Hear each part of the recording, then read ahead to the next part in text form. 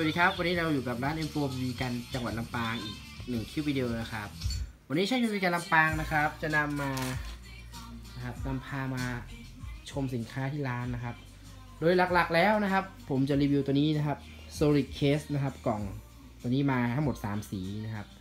แต่วันนี้ก็มีของรันเข้ามาที่ร้านนะครับ เป็นชุดโรนี่นะครับ เป็นเกาะปืนกล่องใส่ปืนสั้นก๊อกนะครับ ก็จะมีในส่วนของขาทรายนี่เป็นขาทรายที่เป็นพวกชุดหน้าสวยๆนะครับ เดี๋ยวจะถ่ายรูปไว้ให้ชมนะครับ แล้วก็จะมี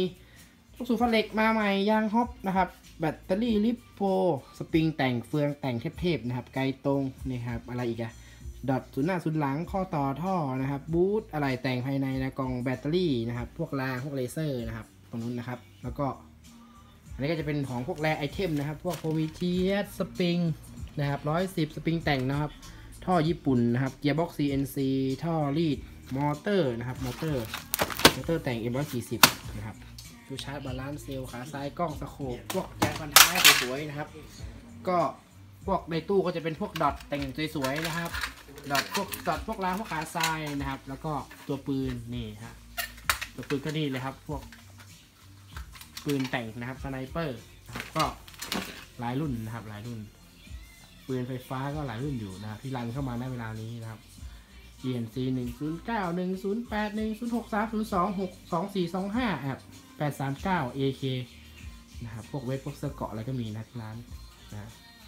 ปืนสั้นรอทำรีวิวนะครับ เดี๋ยวรอติดตามเนาะหลายรุ่นเลยครับ ที่ยังไม่ทำรีวิวเนาะนะครับพวกปืนแต่งสวยๆนะครับ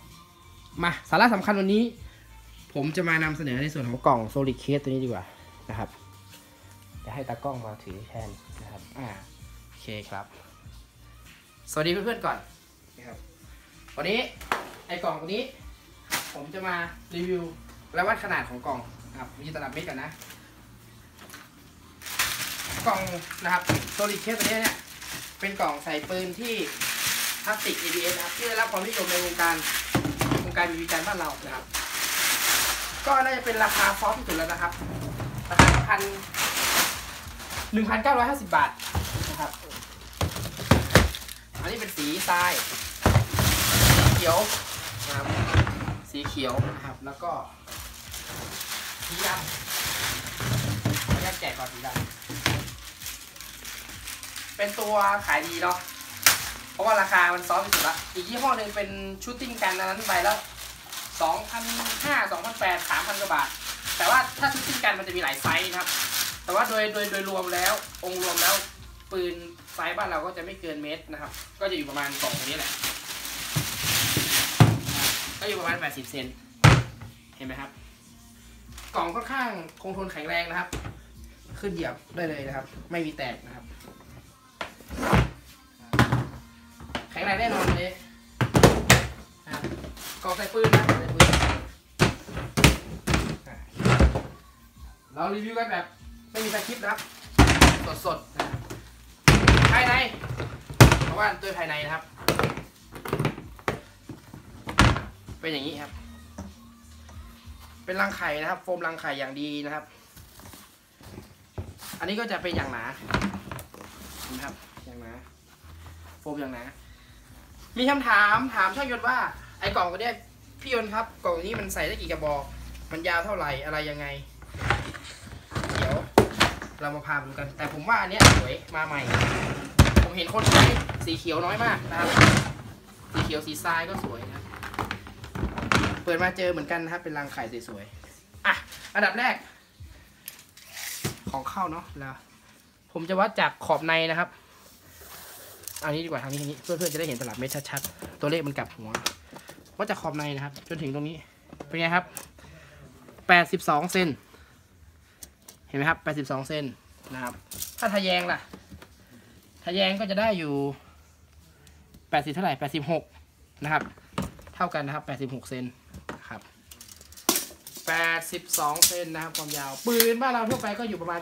80 เช่น เช่น เช่น ลองหยิบตัวนี้มา PNC 603เห็นไหมครับ ก็จะอยู่ประมาณนี้ ส่วนใหญ่ปืนบ้านเราก็จะไม่เกินนี้ เพราะว่าตัวปืนตัวนี้ก็จะอยู่ที่ ประมาณ 73 เซน 74 เซนนะครับนะครับ ก็เก็บลงกล่องได้ ใส่ยังไงใส่ได้ประมาณ 2 กระบอกน่าจะได้อยู่นะครับเห็นไหมครับแหมนะสองกระบอกใส่ปืนสวยๆก็ตอนผิดตอนพับเก็บเขาก็จะหนีบนะครับ เห็นไหมครับเขาก็จะหนีบไว้ ปืนก็กันไหลกันลื่น ถ้าเราใส่อย่างเงี้ยนะครับเพื่อนๆใส่อย่างเงี้ย